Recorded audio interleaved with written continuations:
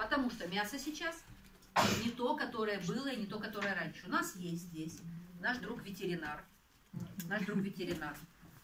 А, кстати, между прочим, а, у ветеринаров работа 100 миллионов раз сложнее, чем у человеческих врачей. Потому что, во-первых, покусают. Во-вторых, если ты не добрый, не приблизишься ни к кошке, ни к собаке, они чувствуют, считывают на астральном уровне. В-третьих, гипноз не работает, что вам больной вам уже лучше. Это не работает. Если у коровы болит копыта, то у коровы болит копыта. Ничего ты с нее не выдаешь. Поэтому ветеринары это настоящие врачи. А вот человеческие врачи, их надо на стажировку в ветеринарию. Поэтому мы попросили, ну буквально там несколько минут, 10 минут. Скажите, пожалуйста, чем вообще кормят животных, чего нам опасаться? Ну вот как вообще, скажите свой взгляд на эту тему, как врач наших друзей меньше. Две минуты мы готовились. Ольга Алексеевна слушать. Ничего, ничего, а мы вас послушаем. Да. Просто я давно в коралловом клубе. Да. Просто давно отсутствовал, извините. Да, ничего. Нас было скучно без вас. Да. И вот у меня своя аптека, я веду прием давно уже. И что? Как только придет кто-то в, аптеку, обязательно разговор о здоровье. И вот пришла бабуля и говорит, сынок, почистила яблоки, шкурки кролика дала крольчата. Крольчата сдох. Вот так. Я ее за язык не тянул. Мужик, говорит, возил какую-то чепуху на птицефабрику. Мешок в машине лопнул. Матери домой то, что осталось, там привез. Мать вышла, цып-цып. Птицефабрику уже человек возил. Утром проснулись, куры раздутые, дохлые и лопнутые. Мальчик. Вот. Бабулька рассказывает. Раньше я в Горький, говорит, привезу яички домашние, все так радуются на сковородку. А тут привезла, на сковородку бросили. И сестра мне говорит, ой, да ваши яички какие-то бледненькие. Потом я узнаю, что научились кормить красителями, которые концентрируются в желтке. И этим нас с вами почуют. Я давно запомнил слова Алексеевны. Мы с вами будем здоровы только тогда, когда научимся из супермаркета выходить с пустыми руками. Вот. Это вот тот самый пример. А В интернете вижу мелкие китайские мандарины, женщина разрезает ножом и оттуда выковыривает лист. Да, да. Кошмар. Расскажу про ножки Буша. Они только появились, вот такие огромные. Мы с вами их не видели в советское время. Жена приносит. Вот купила, давай готовим.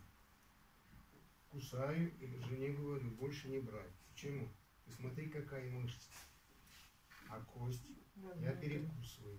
Не может быть такая мы- мышца нарастить, если кость, она еще хрящ, не сформировавшееся животное. То есть туда набили того, что э, заставило эту мышцу. Больше того, во- раньше, потом по телевизору увидел, вот идет она на конвейере, эту ножку глубже, и шприц то- такой в нее впивается и накачивает хлорированную воду. Потом сразу в заморозку. То есть хлор боевое отравляющее вещество. И плюс лед. Мы за это платим деньги. Почему нет грудной мышцы в магазине? Потому что вся гадость как раз концентрируется в вот этих мышцах голени. А грудную мышцу они сами съедают, там ее наименьшее количество. Понимаете? И чтобы не взять, мужик прорвался Звениговский, знаете, мясо.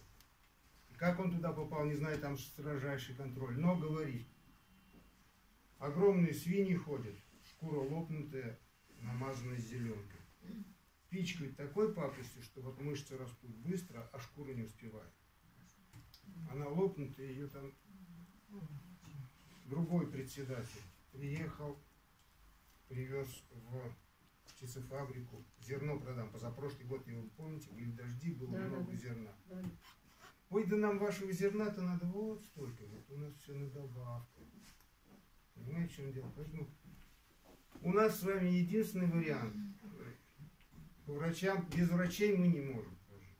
Но вот чтобы попасть на прием к моему старшему брату, люди меняли прописку. В советское время он не мог просто принять. Да, нам нужна была прописка. Сам он прожил 55 лет. Жена тоже врач у него. Вот проснулся утром человек, сходил, помочился, за голову схватился, на диване покатался от боли и все. И сказал, последний диагноз сам себе поставил, это тромбоз, это конец. Все. Поэтому нет вариантов. Есть такой автор Сергей Петрович Куренков. Он на первой странице пишет. Современная подготовка врачей преступна. Понимаете, в чем дело? Вот. И главный врач роддома, старший брат. Жена 8-9 месяц беременности поехала в гости. И он мне говорит, жену рожать только ко мне. Если она умрет у меня, значит ее не спасет никто. А я ветеринар, я собирал доярок зимой и учил их, что самое главное, что есть в организме матери, когда она ходит 9 месяцев беременна, это глобулины. Они защищают теленка или там э, ребенка за счет этих глобулинов. Они не переварены, в кишечнике есть поры, не, не переваренные огромные глобулины проникают в кровь, и за счет этого потом они закрываются, и глобулины идут в кишечник. Теленок что-то лизнет и защищает его там изнутри. Так вот, я вынужден был сам вторую дочь принимать для того, чтобы напоить ребенка молозием. В то время, 25 лет назад, брали ребенка, уносили, поры закрыты, приносили ребенка. Вот старшему брату говорю, зачем ты так не делаешь?